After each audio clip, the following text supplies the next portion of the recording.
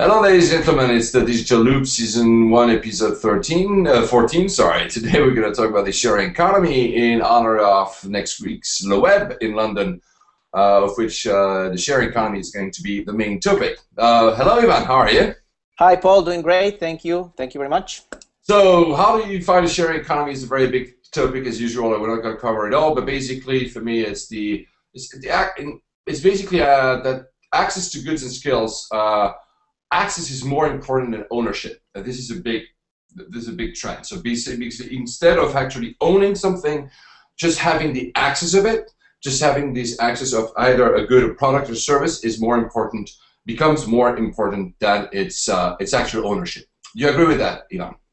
Absolutely. I mean, this is this is a phenomenon that is happening in, in, in, in different industries. You know, there is we're going this paradigm shift from owning products to accessing experiences.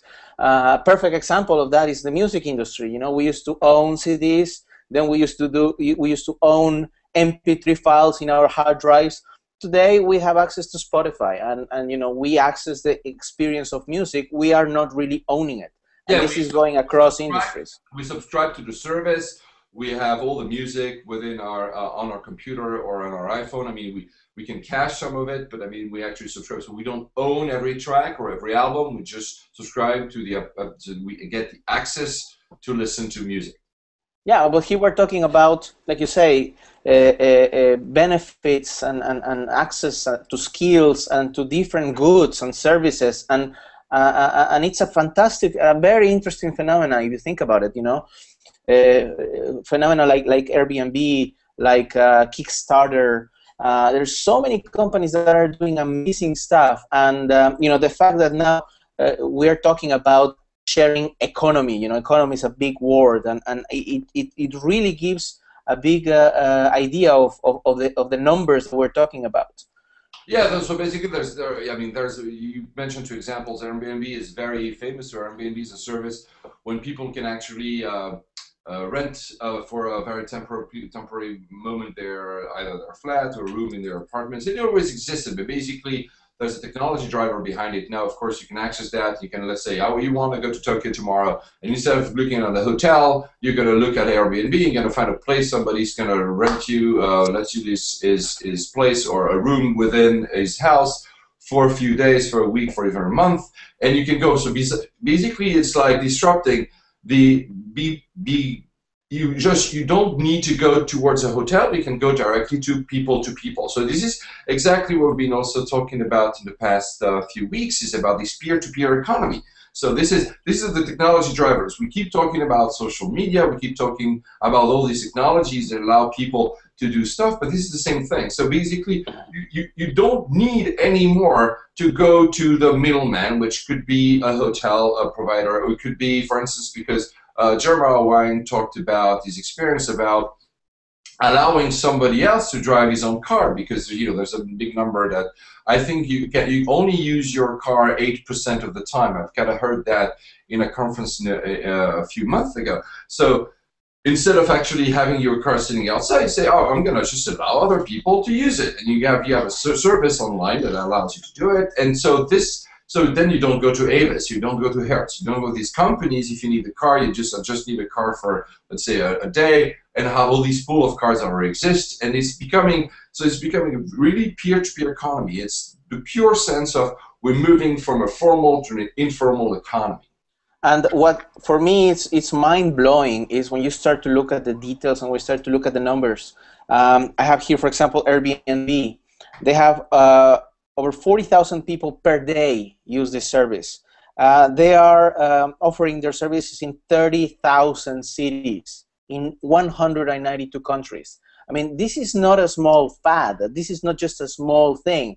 This is happening, and this is happening big. Uh, I have some notes here that um, car sharing. You mentioned car sharing. Car sharing. There's a study that says that uh, the the market for car sharing will reach will be at the level of 3.3 billion dollars by 2016. So and, we're talking about big numbers. Yeah, and we're talking about a lot of different, uh, a lot of different industries. You're talking automobiles or car sharing, but it can be house households, it can be banking. money lending as well. You know, uh, peer-to-peer lending. Instead of going to ask for a loan at the bank, I'm going to ask a loan for a friend. But this, or for people I don't know, peer-to-peer again. It can be. Uh, of course, there are co-working spaces. This is something that's been going on already for a little bit. Storage space is the same thing. There's travel. There's bikes. I mean, it could be. There's a lot of stuff. I mean, there's sports. You get equipment. There's uh, we think about it could be food. Uh, I don't know. There could yeah. Be... there's a service that, that is called uh, Cookening, which basically uh, you can uh, you know you're good at cooking one thing. You cook one thing, somebody cooks something else, and you know you can share your your knowledge skills on on, on, on cooking. But uh, Paul, I have a question. Uh, you know, I mean, this is this is these are exciting times, and this is really really uh, like I say a very interesting phenomenon. But why? Why do you think this thing happened? I mean, sharing this is something that is been going on since the since the dawn of time. You know, Every, we are as a society we are used to sharing, and we're used to you know as a community. Uh, this is this should not be something new, but it is new. And why do you think there is such a big big boom in this type of of, of economy?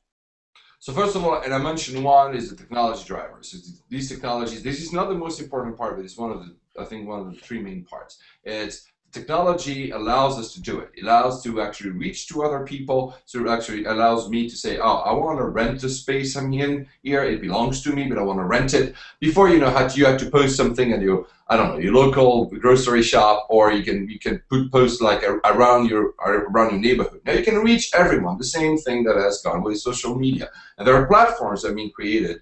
Platforms either for free or very cheap.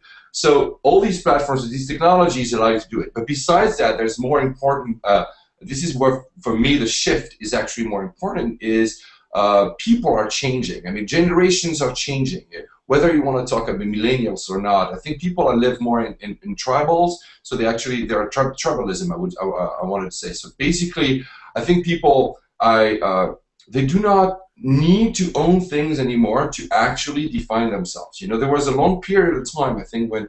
Uh, we actually bought a lot of stuff, and this lot of stuff, it was, you know, it was kind of the growth of the economy. We needed a car, we needed a house, we needed, we needed a big TV, we need all these things were kind of also kind of defining us. And this is maybe either uh, for uh, because people have realized there's a lot of waste, there's a lot of stuff you keep stacking up but you don't use. Also, people have seen the environmental effects on the planet as well, so they actually kind of more wary about what, what they buy. And then, of course, there's the recession. So these are the economic factors recession. So basically, there's been a lot. I mean, after the, the glorious 30s, they've been starting having more and more recessions that happen in up and downs. You know, good times and bad times. And of course, when you have a recession, you have to make some of the choices about what you want to buy and what you want to own. So you these recessions, the last one in 2008, I think when you mix the social part of people want to be to determine, you know, to they have new dreams. They want to determine themselves. They want to self-actual themselves. And then when you add on your recession on top of it, plus the technology behind it allows to do it, you have the kind of suddenly the perfect uh, recipe for the sharing economy. Is all these factors coming together? Do you agree? Absolutely. I mean, this is uh, like you say. I mean, it, it, it seems like a perfect storm of all these elements that are happening uh, connected with these disruptive technologies. This, this, uh, you know, we spoke about in a different show about the, the social local mobile, Solomo, the power of Solomo. It's allowing new services to, to, to come out, new types of sharing services. And, uh, and, and the fact that you know all you need is a mobile phone and, and you have access to location, you have access to people. It's it's it's unbelievable. So big, big opportunity. Um, and what, what's interesting is the fact that yes, we're talking about peer-to-peer and we're talking about individuals, but uh, you know, we're talking about the fact that there are many larger organizations that they have realized that there is a big potential in this, and they're starting to implement this even as, as they are large organizations. You know, Coca-Cola, for example, Coca-Cola, they are starting to crowdfund, uh, to crowdsource, uh, you know, design ideas, um, there's different companies. Adobe, they have also some programs in which they are allowing people to share their knowledge with them. You know, well, this and, is big, man. and Adobe has actually, uh, I know it's one tiny example, but Adobe, in terms of subscription, has moved on. So the cloud service, I don't know, Creative Cloud, I think it's called Adobe Creative Cloud. So you don't have to buy anymore uh, Photoshop and the old suite of uh, creative uh, services from Adobe, you now subscribe to it. So you get access to all their software as a subscription base. So you keep getting updates and everything, and you, so you still download, of course, at least for the moment, you still download the the, the, the software on your computer, but you subscribe to it. So you don't have to buy it to subscribe to it. So this is all a move.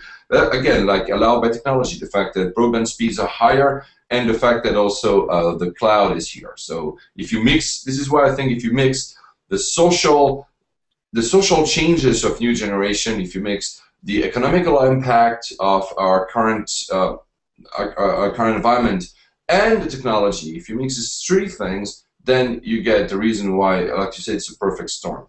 Yeah. However, there is there is uh, one element that I, I, I keep thinking a lot about is the concept, the element of trust. I think the trust is the key, and this is something that for me is fascinating. The fact that uh, yes, uh, the, all the forces that you have mentioned are really strong and they're really meaningful and important for this. But the fact that you know people are open and they are more trustworthy, trustful because they're more trustworthy because of the social element of, of the social media uh, factors. Uh, that's what I find also fascinating right now. Like I know people that they will never think about you know opening the doors to their house and now they know that they are very active on Airbnb, for example. Uh, and, and, this is a big shift, a mental shift for a lot of people that I find also fascinating. Yeah, I think I think that again the fact that people are been starting to be used to have this uh, this conversation of everyone, these kind of nodes that are created. So I think we define ourselves differently. I think there's new identities being defined. Of course, it's easier maybe if you're younger because you were born within this uh, type of environment. A bit harder if you're not. But I mean, we define ourselves uh, uh, differently. So we accept. I mean, the element of trust. Trust is basically is also what defines people. I mean, by essence, I mean being able to. It's like you know, this. I think it's a normal trend within our economy. We keep talking about, so, you know, the economy is being, in the past 50 years, has become more and more integrated, more and more integrated, and now we're reaching the point where this integration is accessible at all levels. I'm not saying that it's accessible everywhere yet. Of course, there's a lot of emerging countries and, and uh, non-developed countries that don't have access to that technology, I mean, as much as we do here in Western countries, but I think this is a trend that is just keep going. We're going, uh, having these nodes are created. There's peer-to-peer economy. So we're moving from a very formal economy, and I know I repeat myself, to an informal economy. I mean, all the models, the business models that used to be applied were companies that had, you know, because you didn't have any other choice that to go through a system of corporation and companies to find a business model. Now people can actually do that themselves. But as you said, it always existed. People were exchanging, before even the creation of money, and money is basically trust, is people were exchanging goods and services. You know, you would go, I mean, if you go to very disrupted economies after war, after a war, for instance, there's no money, so people do these type of exchanges. They have to find other ways to actually, you know, sustain themselves, and sustain a living. So what we're actually seeing is just the same, a similar pattern but on global scales because of the access, the reach, and the velocity of the technology. Yeah, absolutely. Very exciting times. Um, well, that's that's the sharing economy. I hope that uh, you're going to get the opportunity to know a lot about this next week when you will be uh, at Le Web in London. Yeah. Uh, as, as Paul mentioned, Le Web London will have uh, the, the main key uh, the subject of the entire uh, conference is the sharing economy. Yeah. So if we invite you to uh, check out the, the live stream, of course, if you can attend, you know, you go and have a great time and say hi to Paul if you are there. Uh, but if you're gonna make it like me, uh, enjoy the enjoy the live stream and really uh, check out all these great speakers that are going to Le Web next week. Um, and that's it. That's it from the Digital Loop this week. I don't know, Paul, do you have anything else you want to, to add? No, I'll see, I'll see you next week live from Le Web. Awesome, awesome. Well, okay, guys, uh, remember you can subscribe uh, to our podcast on iTunes. You can listen to these uh, recordings on uh, SoundCloud as well as on Stitcher. And of course, you can uh, look at uh, Paul's beautiful face and my ugly face in YouTube and at thedigitalloop.co. Uh, that's it. Exactly. Have a great day. You said, you said everything. See you next week. Bye bye.